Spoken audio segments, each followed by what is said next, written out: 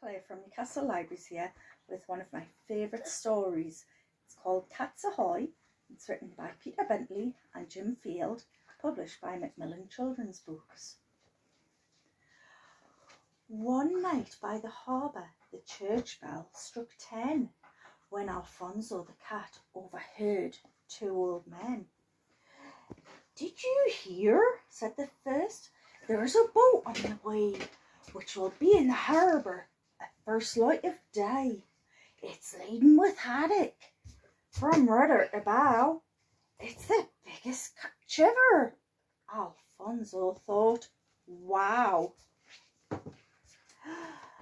Off shot Alfonso as swift as an arrow through alleys and gardens and streets dark and narrow. He told every cat to prepare for a treat. Follow me and you'll get all the fish you can eat. There's a ship standing empty, a three-masted clipper. Meet there at midnight. Her name is the Kipper. A little while later, two terrified dogs turned tail at the sight of two of a great gang of mugs boarding the kipper on soft silent paws with pistols and cutlasses clamped in their jaws.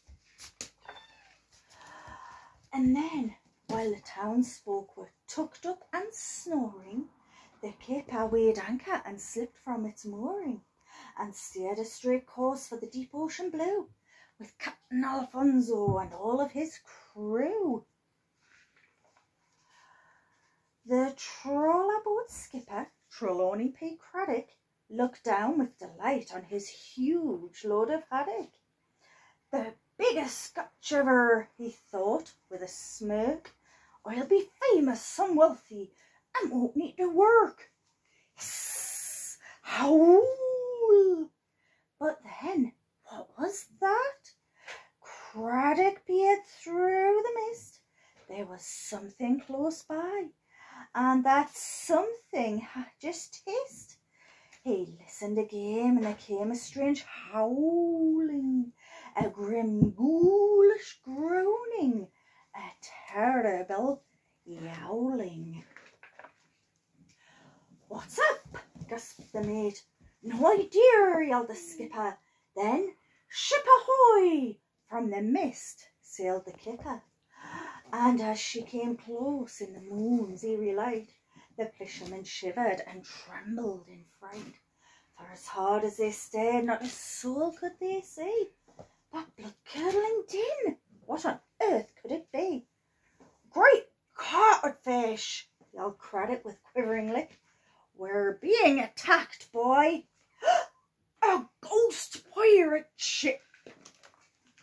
In a panic, the fishermen fled up the deck, leapt into the lifeboat and paddled like heck. The cook, who had sneaked down below for a snooze, was forced to abandon his trousers and shoes. And once Craddock's crew had rowed too far to hear, the voice of Alfonso cried, Okay, all clear. One by one, furry faces popped up with great glee. Hey, check out that haddock. Fish-tastic. Yowie! Now, said Alfonso, to smugglers bay for a great fishy feast. And the cats cried, Hooray! In a small sheltered cove out of sight of the land, the sea mogs scoffed haddock and danced on the sand. As the bright rays of dawn were beginning to gleam, they sang, Yo ho ho and a carton of cream. A day or two later, Trelawney P. Craddock was telling of phantoms who'd stolen his haddock. Their flag was two fish bones, I'm quite sure of that, with something that looked like the skull of a cat. A cat? said the townsfolk. A cat? Don't be daft. Who's heard of cat pirates? And everyone laughed.